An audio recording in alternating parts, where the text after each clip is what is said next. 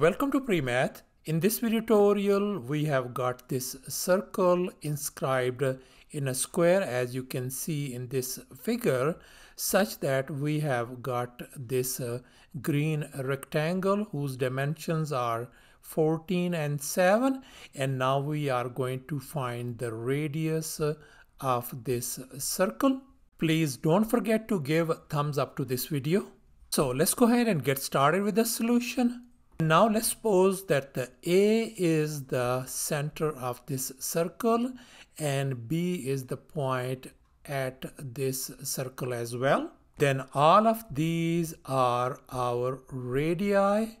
Let me go ahead and call this radius R, this radius R as well, and this is also the radius. And now let's go ahead and draw a perpendicular from point B onto this uh, line. And here's our much nicer looking diagram. And now we know that this line is radius R. Then this is going to be, this part is going to be radius R as well and likewise this is our radius r then this part is going to be our radius r as well. And now we know that this whole length is r and this length is 14 units then this length has got to be r minus 14 now since we are dealing with this rectangle this length is equal to this length.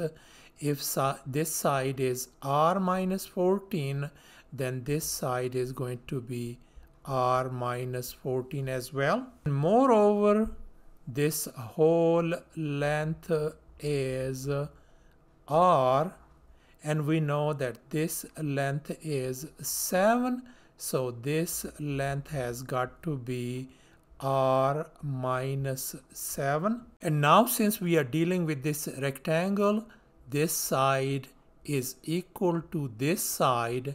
If this side is r minus 7 so this side is going to be r minus 7 as well. And now let's focus on this triangle ABC whose side lengths are r minus 14 r minus 7 and R. And now since this is a right triangle, therefore we are going to use the Pythagorean theorem. And here's our Pythagorean theorem, a square plus b square equal to c square. If I call this horizontal side lowercase a, this vertical side b, and this longest leg, our hypotenuse c, so let's go ahead and apply this uh, Pythagorean formula on this uh, triangle ABC. So this is going to become uh, r minus 14 square plus uh, r minus 7 square equal to r square.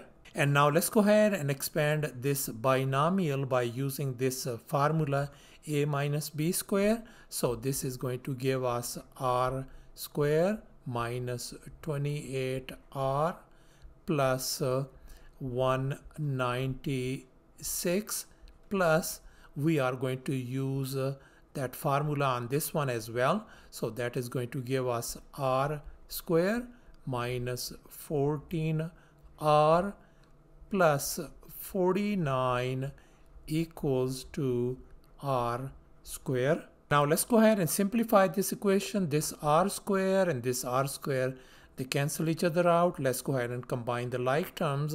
So r square, this negative 28r and negative 14r is going to give us 42r and then plus 196 plus 49 is going to give us 200 and 45 equals to 0. And here we got this quadratic equation and let's go ahead and solve by factoring and we can see that 245 could be factored into 7 times 35 So therefore our factors are going to be r minus 7 times r minus 35 equal to 0. Now let's go ahead and separate them. R minus 7 equal to 0 and r minus uh, 35 equal to 0 so we got r equal to positive 7 value and here we got r equals to positive 35 value and now we can see that r equal to 7 looks really unrealistic since this side is 7 and this uh, radius has got to be more than 7 so therefore we are going to reject this r equal to 7 value and we are going to accept this r equals to 35 value. So thus the radius of this circle turns out to be 35 units. Thanks for watching and please don't forget to subscribe to my channel for more exciting videos. Bye.